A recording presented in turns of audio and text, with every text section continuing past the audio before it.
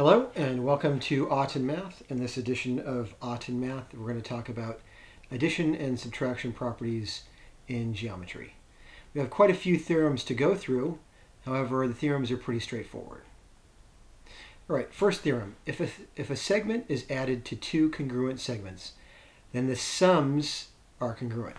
So if I have a segment, BC, and I add it to two congruent segments, AB and CD. And notice how I use the tick marks to indicate congruence. So if I have two here, two tick marks here, then I know that AB and CD are congruent.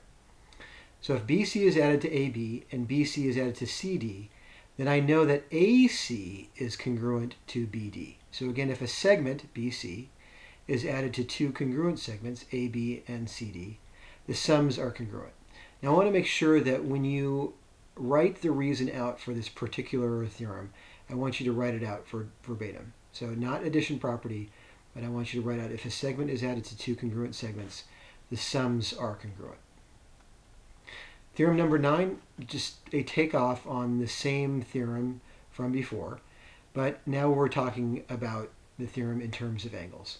So if an angle, angle 2, is added to two congruent angles, angle 1 and 3, then their sums are congruent. All right, and again, I mark the congruence by having one rounded arc here and one rounded arc here. So 2 is congruent to itself. I know that angle 1 plus 2 now is congruent to 2 plus 3. Theorem number 10 says if congruent segments are added to congruent segments, then their sums are congruent.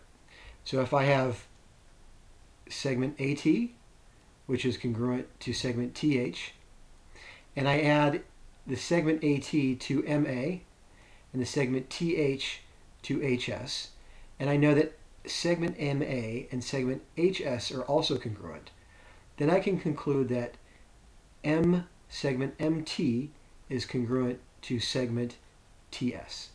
So again, if I have two congruent segments and they're added to two congruent segments,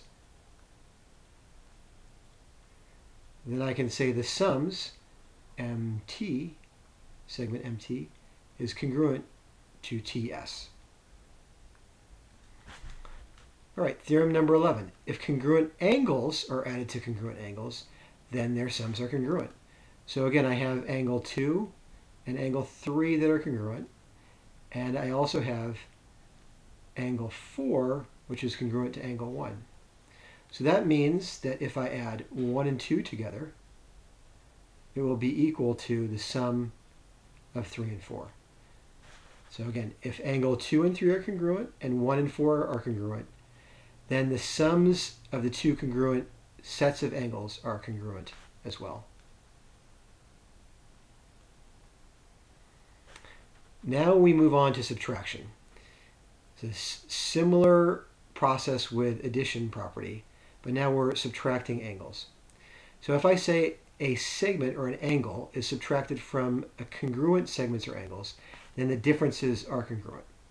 So if I have one segment BU that's congruent to another segment LE, and I subtract one segment from both of those, then I know that the balance BL and UE are going to be congruent.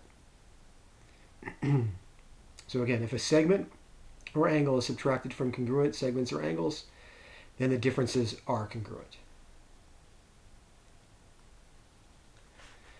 And again, applying this to uh, angles as well.